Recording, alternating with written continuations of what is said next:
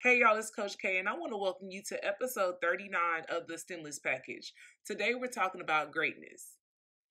Okay, so I know that a lot of people struggle with this. I've struggled with it at one point in my life where I knew that God had placed greatness inside of me, but I was not ready to embrace it. I was running from it. I didn't want to deal with it because I felt like man, what if I can't maintain it? What if I can't um fulfill the responsibilities or you know how was that going to make me look? I was more concerned with how it was going to make me look versus the impact it was going to allow God to have on his people. So I had to really sit back and get myself together at that time and really think about how important it was to not worry about me and how I looked, but worry about the the gift that God gave me to serve and worry about how important it was to fulfill the purpose. God has created a will for us all. I know a lot of people hear the word will when it comes to money, when it comes to family, leaving something, um, or you know, creating some type of uh, inheritance for you. But I like to think of God's will as that same thing, like when it comes to us. He grants us so many different gifts, so many different opportunities and situations where we can really impact other people and like really give them that spark and that that encouragement that they need to keep pushing throughout life. We were put here to be, you know, supportive of each other and to like help each other because honestly we weren't built to like make it alone we're built to be you know interconnected so when I had my moments back in the day, I had to really sit back and be like, bro, it's not about you. It's not about what you want. It's not about how you feel and how you think you will look. It's about fulfilling God's purpose and it's about being obedient. I was watching Pastor Darius's um, series Beast Mode and it's part two. I watched part two this past Sunday, and it really inspired me because the title was "Let Me Be Great," and I think that a lot of times we stop ourselves from being great. God created us to be great. He created us in His image, and He's the greatest of all time, the GOAT. So of course, His children are going to be, you know, a chip off the block. Like we're to be great too if we allow ourselves to be great.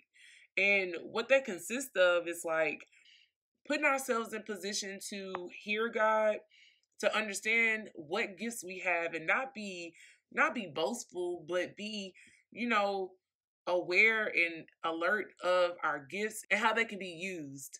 Pastor Darius talked about how sometimes we we take the word humble as a um direction to like not know who we are and not really like be bold and say what we can do. I think that what he displayed in his sermon was like telling us that it's okay to be sure of yourself. It's okay to acknowledge your gifts. It's okay to know what you bring to the table and the value that you can add. When you understand that, you're able to apply it in certain areas to be a solution instead of, you know, sitting back and watching something happen and not doing anything about it. So I wholeheartedly want to just encourage y'all to take the time to understand who you are. If you know your gifts, if you know something that you're absolutely great at, proclaim it, understand it, speak it, be aware of it, and be happy about it. But at the same time, you need to make sure that you always acknowledge the source, which is God, because you can't do any of it without Him.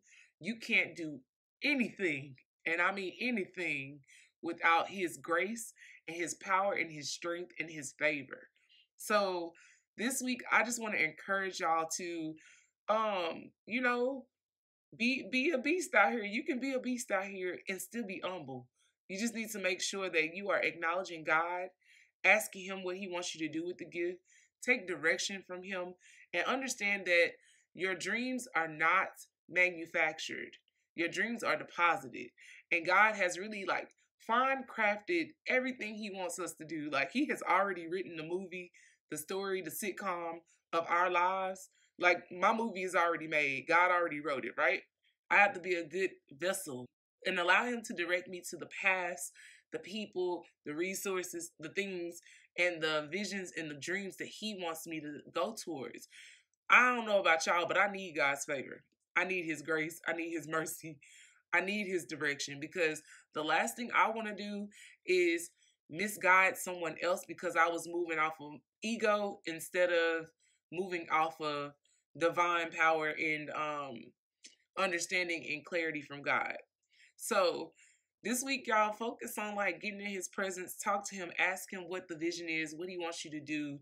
And whenever he speaks, move. I mean, I know it's easier said than done, but just like don't delay, like no hesitation, just go. Take the leap of faith because at the end of the day, we're attached to the Most High and God will cover us. And if something happens where you thought he said something like Pastor Darius said, he was like, if something happens where you misunderstand what he said and it doesn't turn out the way that you wanted to turn out or you thought it would, just take that on the chin and be like, hey, shoot, I thought that's what he said, but I guess not. So we're going to go back to the drawing board. All right, y'all. So it's not, you don't look dumb out here when you're trying. I just want to say that. You can't look dumb because you're actually pursuing what it is you feel that God is telling you to do. So don't worry about looking any kind of way.